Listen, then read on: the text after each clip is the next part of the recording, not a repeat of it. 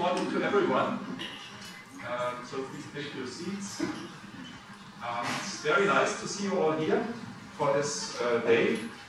Uh, very nice to see uh, many people uh, that you know uh, from different organizations, from the City of Munich, for example, for a particular reason, for, from the other organizations that are acting here in the north of Munich, um, to try to preserve the landscape. From the HSWT, it's very nice to see uh, members, um, which shows that we have a very good relationship at our level. And um, uh, so, and very nice, of course, also to see many students. It's very nice to see also uh, representatives from the Ministry of Environment and uh, Consumer Protection here. So, um, thank you all for coming and I hope that you will enjoy the day. And perhaps now I very quickly change to German. Uh, nur zum, zu erklären, äh, aber das äh, wissen Sie hoffentlich auch alle. Also wir werden heute den Vormittag auf Englisch, in englischer Sprache bestreiten und dann am Nachmittag das Programm auf Deutsch fortsetzen. Das hat nicht pädagogische Absichten, ähm, also, sondern es hat ganz einfach den Grund, dass wir dieses Projekt, äh, ein Projekt hatten, da werde ich auch gleich noch dazu ein paar Worte verlieren, ähm, das zum Abschluss gekommen ist. Und diese Tagung heute baut auf diesem Projekt auf, oder das war der Anlass für diese Tagung hier. Und ähm, da sind auch heute ähm, Leute mit dabei, die eben in dem Projekt aktiv waren äh, aus verschiedenen Ländern und deswegen müssen wir zumindest vormittags oder wollen wir zumindest vormittags es auf Englisch halten, sodass jeder verstehen kann, äh, was wir hier gerade erzählen. And um, how many did not understand what I just said now? Okay. it was not very. so, so um, nevertheless, we will continue in English. and uh, good. I, I, all I want to do now very briefly is to uh, introduce very much the background of today and then I hand over also because we are um, a little bit late already, running late. I will not spend too much time on that and uh, hope that then uh, over the day also the different themes that we want to address with this um, conference will become clear anyway. And the project that we had, and it just came to an end also with a very nice uh, celebration yesterday in Munich, um, organized by the city of Munich, who was the coordinator of that project. The project was called Los Dama. Um, this is not Spanish, but it's Bavarian, uh, Los Dama, and it means, okay, get on, let's do it. And um, the project is, was funded by the Interreg program, and uh, all of those that know the Interreg program know that uh, this is a program about strengthening the cooperation, the regional cooperation, and by region they mean there that it is in particular between the countries that are located in one region or the, the, the provinces that are located in a certain geographic region. And in this case, it was the Alpine region. That is the countries, seven countries around the Alps. And um, the topic of this was about uh, how to promote the um, development and implementation of green infrastructure. Um, and Interreg program uh, projects are always very applied. That is also, so it's not a pure research, uh, research project, but is rather the other way around. Researchers are also invited to participate, so to say, but the leading role should be uh, taken by uh, practitioners from local authorities or other organizations. And uh, this is very much focused really on making a move forward to, to make things happen. And um, we call this conference today Connecting People, Knowledge and Regions. And these are the three guiding themes that we have in this, uh, in this project, so to say. Um, we were concerned with the landscapes and open spaces in alpine metropolitan areas when one thinks about the Alps, of course, usually you have in mind uh, mountains. We can see them here in the background very nicely today. And um, you think about maybe walking in the mountains, enjoying the nature, and so on. But in fact, the Alps are also very heavily populated. There are many towns uh, in the Alps. smaller ones and bigger ones, a lot of infrastructures in the Alps, and it is heavily used. The Alps are, of course, also heavily used.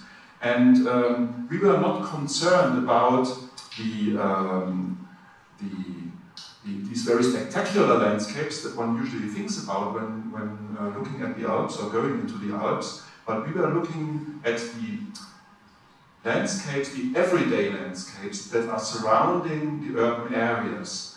Uh, like here, just where we are, and if you look outside, that was one of our study areas. So the north of Munich and the west of Munich and the southeast, uh, southwest of Munich. Um, these are the areas that are in front of the Alps still, and where uh, many people live, and they have demands on that landscape. They want to recreate, they want also to live in a beautiful landscape, they want to enjoy nature, etc., and have clean air and so on. And um, uh, this was our focal area. How can we contribute with developing green infrastructure to address some of the particular challenges of these metropolitan areas? This is a view, by the way, if I'm not completely wrong, on Grenoble. Um, am I right? Yeah. uh, so the biggest city in the Alps, and that is really located inside the Alps. But the Interreg project, uh, this uh, definition of the Alpine region is broader. It also includes cities outside the Alps. And overall, we had seven cities included. Um, uh, I don't list them now all, uh, but um, you can uh, you, you will maybe hear of some of the examples that we have in the course of the day. Um, bigger cities mostly that we looked at.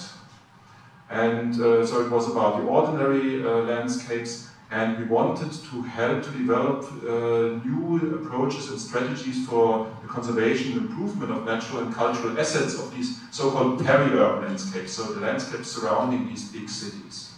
And the challenges there are, of course, very big, um, and we hope that uh, this idea of green infrastructure can help to address some of these challenges successfully.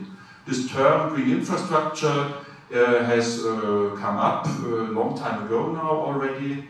It means a kind of strategic planning approach to the open spaces and green spaces in a certain area to develop a network of natural and semi-natural and designed um, areas. So it's not only about the high value nature, but it's also about farmland, normal farmland, it's about public green spaces in cities, and so on. And um, what one hopes, of course, to achieve with such strategy is that uh, this kind of um, network will deliver broad spectrum of benefits to society, not only ecological, but also social and also economic benefits. That's the, the big vision, and uh, we had been involved ourselves in a big project uh, European funded project where we further develop the concept of green infrastructure for urban areas and did many case studies and so on. But with the Interreg project now, the ambition was really that uh, one would move further on to say how can we do it and, and can we make some progress uh, that is vis either visible in the landscape or visible in the mind of the planners and all the other stakeholders that are involved uh, so that it will trigger a kind of process into the future. Uh, yeah, these are the seven cities that we had, and uh, you see, I, I, will not list them now. Um, plus one observer city, I should also say, so in reality it was even more. And um, the three terms, just to say that, yeah, what are the challenges in such peri-urban landscapes? I would say with one, with one word, and I really don't have the time, for saying much more, it's fragmentation. It's fragmentation in many different respects. Uh, political fragmentation, look at the city of Munich and its surrounding region. You have one city and you have, I think if I'm right, 98 municipalities surrounding it. Uh, imagine how you want to bring them together into some, some kind of coherent development. Um, uh, that is a very big challenge, but you have many more stakeholders. You have the landowners, you have um, many organizations acting in such landscapes and the people themselves, of course. So this was, the, the idea of this Interreg project was to increase, uh, to improve connecting people, um, in particular to strengthen intermunicipal cooperation. That was a, a main hope of this project. Um, connecting knowledge um, to bring together different sectors in administration, to bring together the sciences with practice, uh, and to come to a kind of transdisciplinary working mode, and uh, for also to learn from practice, from already good examples that have been developed in one place, and to think about how to transfer this to another place. Uh, so to exchange between the regions, of course, that was very important by connecting knowledge and connecting people also. That's the overall purpose, of course, of Interreg projects. Yeah, connecting regions. And connecting regions means uh, between the seven or eight places around the Alps and in the Alps, and uh, but also enhancing the connectivity between the urban, the rural, and the peri-urban uh, landscapes that are somehow in between. Um, uh, and, uh, and, that on different, and, and also very important for such a project was also to connect, so to say, vertically, not only horizontally, uh, between local levels or regional level thinking and the European, national and European level thinking. Um, the Los Dama project was also very active at this high level, so um, results from the project uh, were taken up or uh, communicated to EUSALP, uh, which is a um, strategy for, or an organization to develop a strategy for the Alpine region as a whole for, and in this case for green infrastructure. So I leave it with that and um, uh, try to go to the program so that we can finally make a start.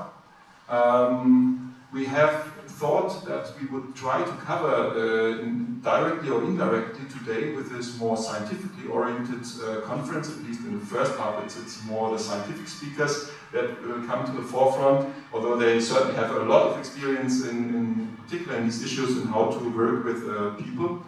Um, and uh, but uh, the morning is in this English spoken session is about um, the, the scientific speakers that we invited. First, Professor Dr. Paul Opdam. We are very glad that you are here, uh, coming from uh, the Netherlands, from Wageningen, and uh, he will talk about green infrastructure and landscape benefits, how information enhances collaboration, so we will deal on that topic.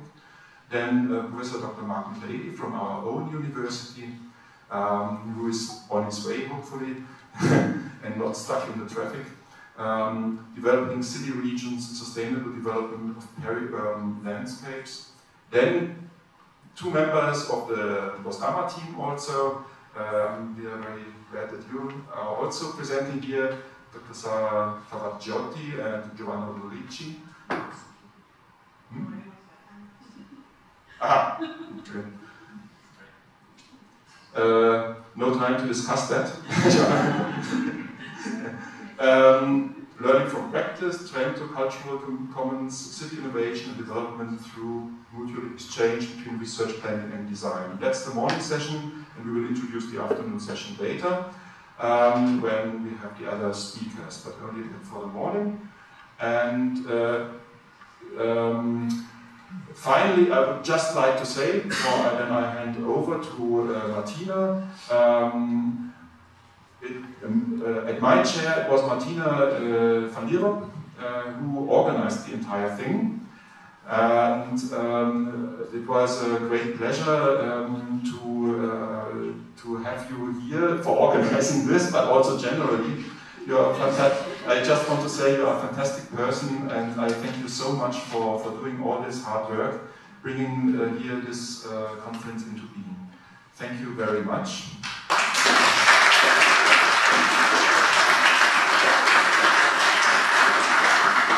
So, and there are of course many helpers then in the, in the background, student helpers, other members of the study faculty who helped to organize such a meeting. So also thank you to all of you.